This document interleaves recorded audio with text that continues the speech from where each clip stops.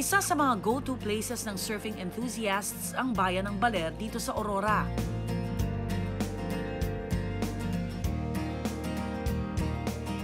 At dito namin natagpuan si Sam sa resort na mismong pag-aari niya.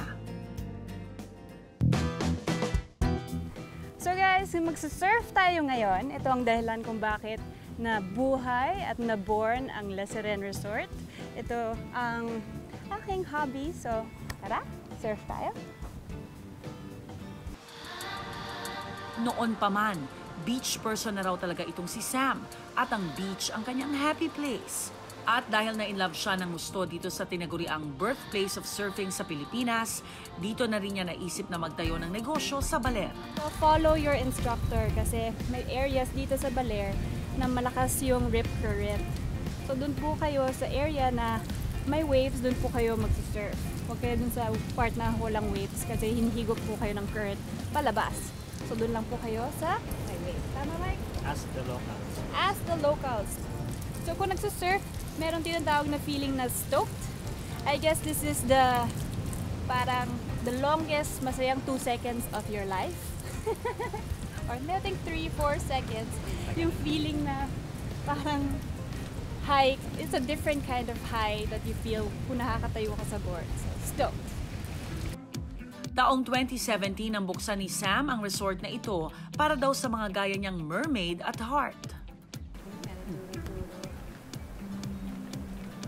Hi, Sam! Hi! Gusto ko maging sirena. Yes, you're welcome to be a Serena here. Nakita ko nga, ayan o, time to be a mermaid and, And make make waves.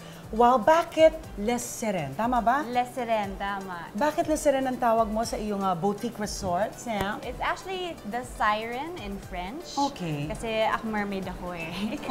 Parang lahat ata ng babae gustong maging Mermaid. sirena. Yes. Ano ba to? Ikaw mismo ang ang nag-design? Ako sa design actually, from the swings to the beds. Actually lahat dito customized, made here in Baler. Dito rin makikita ang shop ni Sam ng swimsuits at mermaid blankets.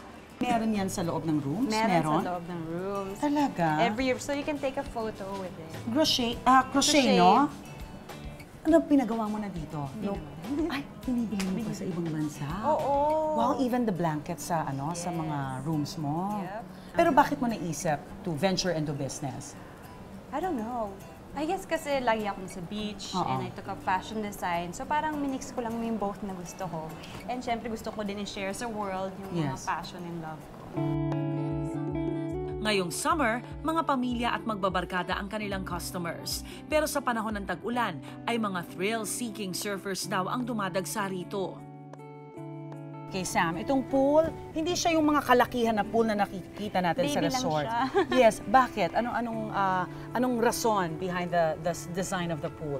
Well, originally, gusto ko siya maging parang lounge pool. Meron upuan in all sides. So, upo ka lang dyan. Pwede kang mag-drink-drink Oo, dyan. yun ang purpose talaga. Upo, drink, drink. Pe- Oo. pero naging kiddie pool na din siya. Ah, Kasi pwede 3 nga feet lang siya. eh. So, pag tayo mo, hanggang dyan lang talaga yung water. May sarili ding restaurant si Sam dito. Ang ganda ng feel ng place. Hindi siya yung talagang sobrang laking mga resort na napupuntahan ng iba nating kapuso. Pero it's clean, it's simple, it's chill. Pati, what what type of food do you serve? Filipino food. Pero ang dinarayo talaga rito syempre, ang big waves ng Baler.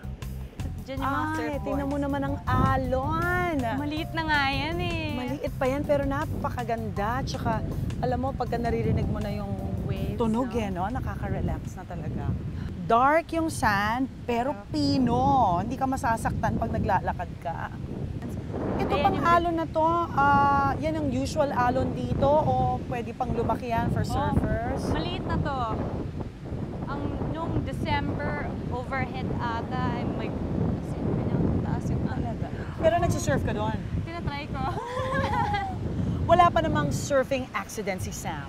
Wala pa. Never pa. Never. You've been surfing for how long? Seven years? Seven years.